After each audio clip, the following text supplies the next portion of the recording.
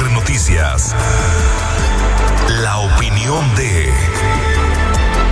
Oigan, el gustazo de saludar esta mañana al doctor Juan Roberto Reyes, nuestro especialista en temas internacionales. Doc, ¿cómo estás? Qué gusto saludarte esta mañana. Muchísimas gracias, mi estimadísimo Ángel. Pues muy bien, aquí andamos en la cabina de RR Noticias, desde donde ahora pues mandamos un saludo allá al Instituto Mexicano de Oftalmología, en donde te encuentras en la transmisión de esta mañana.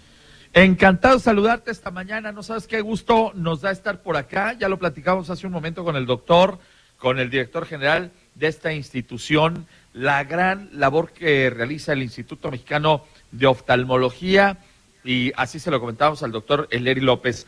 Oye, ¿de qué vamos a hablar el día de hoy en la agenda internacional, doctor? Claro, Ángel, sí, fíjate que estamos de conmemoración de una celebración pues muy especial. Hoy se ha dado a conocer alrededor de las 3 de la mañana, tiempo de México, tiempo del centro de México, quien ha sido galardonado con el Premio Nobel de la Paz, Ángel, una cuestión que es interesante dentro de tantos conflictos internacionales en un mundo peligroso como en el que nos encontramos ahora con guerras, cambio climático, en fin, muchas, muchas cosas. Entre todo ello emerge, fíjate, la adjudicación de este gran premio Nobel, que pues Alfred Nobel recuerda un poquito, pues esta persona de allá de la zona de Noruega, que pues su legado ha quedado para, después de haberse dedicado como químico a la cuestión de la dinamita y los explosivos, eh, pues arrepentido de forma por el impacto que esto provocaba, su legado ha quedado ahora con la adjudicación pues del premio Nobel, pidiendo que muy especialmente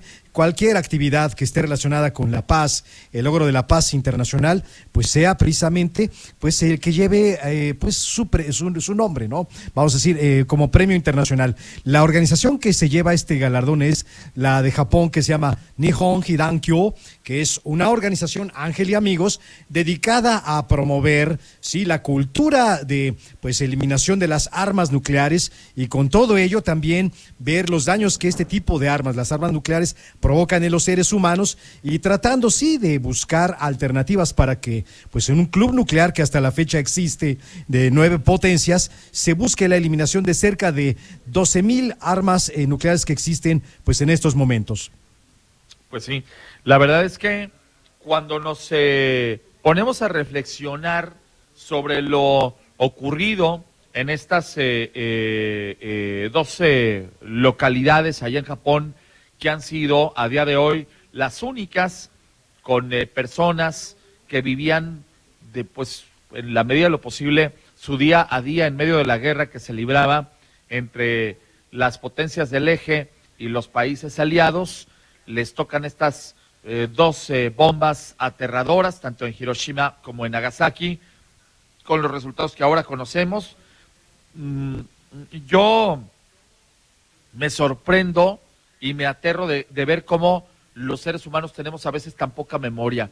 Creo, y lo ha dicho eh, el señor Guterres, el eh, secretario general de la ONU, nunca en los últimos tiempos habíamos estado tan cerca de la hecatombe nuclear como lo estamos en este momento, con estas guerras, con estos movimientos bélicos en los que pues hacen estas escaramuzas tanto Estados Unidos como Rusia, China, Corea del Norte y de verdad estamos viendo una época muy, muy complicada porque además me parece que la obsesión belicista de algunas de estas potencias eh, raya en la, en la demencia, doctor. O sea, cualquier persona con dos dedos de frente entendería que las bombas atómicas debieron haberse dejado de lado luego del horror que se vivió ya en Hiroshima y en Nagasaki. Lo es, mi estimadísimo Ángel, y es que fíjate, casi 80 años después de que han ocurrido esos eh, bombardeos en Japón, precisamente con armas atómicas en su momento, en 1945, dejan siempre una preocupación sobre cuál puede ser el uso, el manejo de este tipo de artefactos, que son, pues claro, armas de destrucción masiva y que, bueno, sale a colación porque, pues, en el conflicto entre Rusia y Ucrania, el presidente Vladimir Putin, pues, en algunas ocasiones ha tenido este detalle de mencionar que quizás podría recurrir al uso de este tipo de armas para tomar alguna ventaja eh, en este conflicto que están librando contra Ucrania. Pero bueno, es que es solo una de las eh, múltiples referencias y como bien lo dices, esto que es el reloj que pues se ha creado por parte de científicos dedicados a las investigaciones de la paz, entre otras cuestiones, el reloj que marcaría llegar a la medianoche, por ahí se ha referido que estamos pues a segundos, ¿verdad? Estamos cada vez más cerca, pero es solamente una referencia por ver que los riesgos nucleares pueden estar latentes en cualquier momento y pues la situación debe de preverse, debe de prevenirse. En este sentido, pues el galardón que hacen a este organismo, eh, pues es precisamente yo creo que una muy buena referencia de que Nihon Hidankyo, este, este nombre que hay que tener en la mente, pues justo hoy lo recordemos como la organización que ha trabajado por la promoción de la paz y la eliminación de las armas nucleares. Y bueno, pues ahí están, obviamente, todos los Hibankosha, que es el nombre que en japonés se les da a los sobrevivientes de esta terrible masacre allá en Japón. 200 mil personas murieron, pues eh, mm, de manera, eh, algunos de manera automática, eh, quedaron prácticamente pulverizados por la acción de estas bombas atómicas y otros murieron meses después debido a las consecuencias de la radioactividad eh, en un acto por demás espantoso. Lo que más me aterra a mí es que después de haber lanzado estas bombas sobre Japón, el gobierno de Estados Unidos, como por ejemplo lo consigna esta película de Oppenheimer, se cayó de manera muy cobarde eh, al eh, ver lo que habían provocado. Se prohibió inclusive hablar de este tema y mencionar la hecatombe que había causado Estados Unidos allá en Japón y que provocaría que, pues seis días después, eh, el emperador Hirohito terminara firmando la rendición incondicional.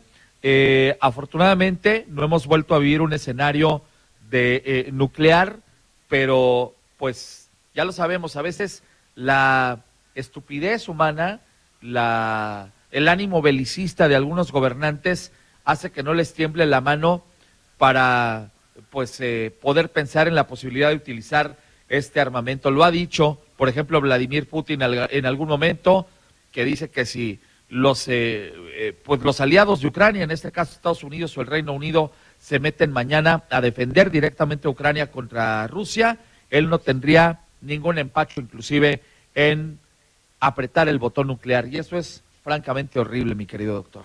Sí, lo es, Ángel, es que la proliferación nuclear es un problema que no está resuelto a, pues, al momento de, hoy. Estamos diciendo que han transcurrido cerca de 80 años precisamente de los episodios de Hiroshima y Nagasaki, pero aparte sí, la proliferación la vemos en la investigación nuclear, en el desarrollo de programas especialmente dirigidos hacia las armas nucleares, en fin. Entonces llama la atención, Ángel, cómo actualmente países como Irán, Corea del Norte, están activos, entre otras eh, circunstancias, además de Israel, por supuesto, en esta que es pues una forma muy peligrosa de manejar armamentos que pues les dan sí una ventaja eh, muy muy importante sobre sus eh, competidores en distintos términos, planteamientos y circunstancias, pero claro, esperando que ojalá nunca las usen porque pues todo ello derivaría en circunstancias que tendrían grandes daños a la humanidad en distintas regiones del planeta y pues hacemos votos porque esto nunca ocurra.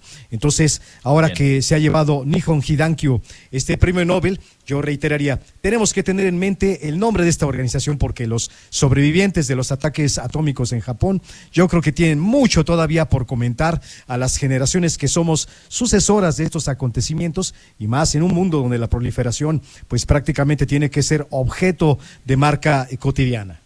Y que no se nos olvide como humanidad, como civilización, como especie, el grave horrible, apocalíptico efecto que causan estas armas para que nunca vuelvan a ser utilizadas contra ningún ser humano. Doctor, te mando un abrazo. Gracias por estar aquí esta mañana. Claro que sí, mi estimadísimo Ángel. Y pues sí, ahora, ahora sí que como todos los viernes. Hoy, Ángel, pues sabemos que es momento y con este frío de, de tener un... Cállate los ojos, un cafecito esta mañana, mi querido doctor. Y aparte aquí mis amigos del Instituto Mexicano de Oftalmología ya nos trajeron pan de muerto. Así que olvídate a tu salud te, Este, nos vamos a comer un panecito a tu salud, mi querido. Muchísimas gracias, Ángel. Ahora sí que vamos a buscar acompañarles por allá. Y claro, vamos a buscar, como decimos, cafecito, americano, expreso, en fin, lo que sea, pero para tener energía este viernes, Ángel, y aprovechamos para desear a todos los amigos de RR Noticias que tengan extraordinario día y también un fin de semana de grandes triunfos. Muchas gracias, doctor. Les ha acompañado el doctor Juan Roberto Reyes con los temas internacionales, los ganadores este año del Premio Nobel de la Paz. Nunca eh, más acertada la designación, como ha sido este año con esta organización japonesa que busca concientizar sobre los terribles efectos de las bombas nucleares. Amigo arquitecto, te invito a visitar la nueva tienda